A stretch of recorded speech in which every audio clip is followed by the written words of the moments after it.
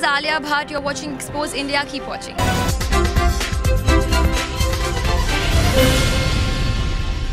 उत्तर प्रदेश के गाजियाबाद में नगर निगम की अतिक्रमण हटाने के नाम पर दादागिरी देखने को मिली, जहाँ जुर्माना भरने पर भी निगम कर्मचारी कई हज़ार का माल और नगद दुकानदारी के पैसे भी अपने साथ गाड़ी में भरकर ले गए वहीं दुकानदारों का आरोप है कि नगर निगम कर्मचारी अधिकारी ने एक अपाहिज व्यक्ति को खोखा लगाकर अपने परिवार का पालन पोषण करता था, उसको भी नहीं बख्शा उसे हटाने के लिए जो है कि मतलब बोले जब तक हटाएँगे तब तक जो है कि मेरा काउंटर भी उठा लिया और पाँच हज़ार रुपये का रसीद भी काट के जुर्माना भी ले काउंटर में सामान वामान थे? सामान था जितना सेल उल किया था सब पैसे वैसे सारा उसी में था लगभग दो तीन हज़ार रुपये था वो सारा उठा करके ले गया। भैया मेरा घोगा तोड़ दिया मुझे दो मिनट का रोटी खा रहा दो मिनट का टाइम भी नहीं दिया।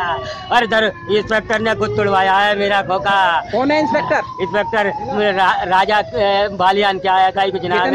है। लोहिया नगर में पहले ड्यूटी करते थे अब तो वो उधर पटेल नगर में पहुँच गए ज़बरदस्ती मेरा पाँच मिनट का भी टाइम नहीं दिया मुझे। मेरा खोखा तोड़ दिया। मैं विकलांग आदमी हूँ मैं कहाँ जाऊँगा क्या करूँगा? मैंने हाथ जोड़ के प्रार्थना करी कि कहते ही मुझे दो मैं गली मोहल्ले में चढ़ा करके बच्चों को पाल लूँगा। मैं यहाँ काम नहीं करूँगा। मैंने चेहरा भी नहीं दिखाऊँगा लेकिन फिर भी नहीं माने।